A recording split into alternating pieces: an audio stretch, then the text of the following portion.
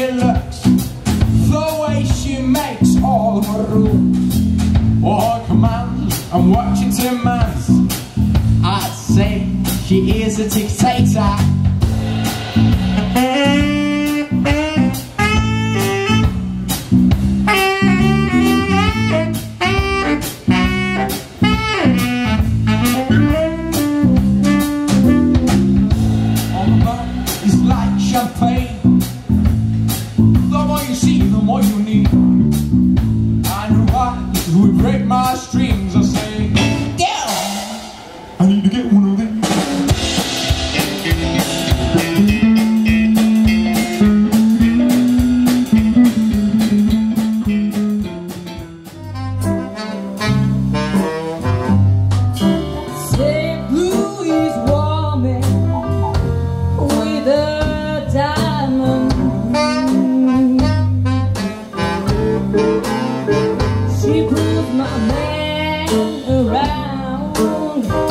by her apron.